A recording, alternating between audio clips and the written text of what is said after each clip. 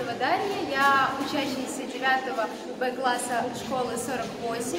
А, для меня это были а, первые а, такие очень сложные участия в данном в данной конференции. И э, самое сложное для меня были это коммуникативные бои, потому что э, когда ты волнуешься, ты не можешь сформулировать свои мысли.